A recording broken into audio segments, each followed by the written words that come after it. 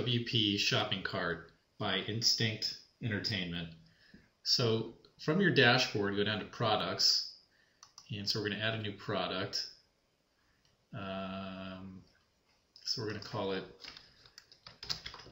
wedding hat, and we'll put the description here, big wedding hat or whatever you want to put in here. You can put the SKU down here or whatever additional additional information you want to put in.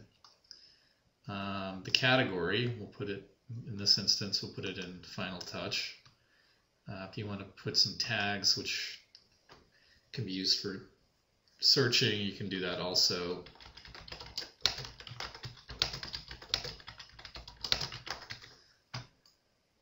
Add. And not going to do anything necessarily with this. Uh, we are going to uh, add a variation, but we're not going to do it here. It doesn't really work that great from here, so we're going to do that from the dashboard settings. Then we're going to upload an image.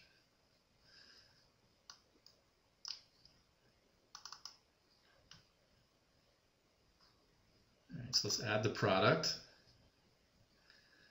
And now we want to add a variation to the product because we have three different types of wedding hats.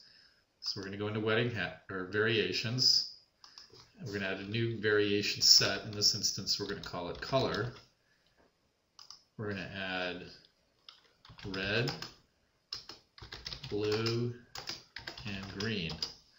So let's add that. Then we're going to go back into the product we just added. Edit. And we're going to pick a variation, in this instance, the color. Um, I forgot to add a price.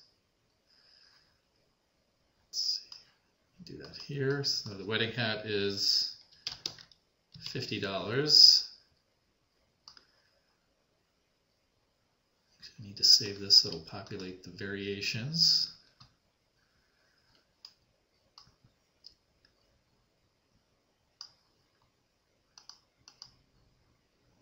So we're going to say the red one is 50. The blue one's 50, but the green one is 60. All right, so let's save that.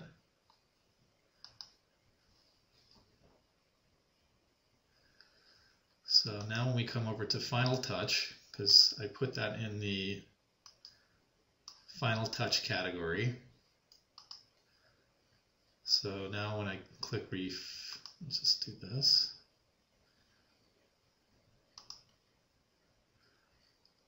There's, well, that's my sister-in-law, but anyway, uh,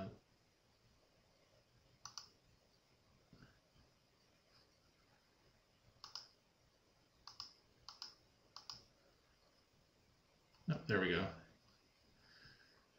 And this, we can see the red one is $50.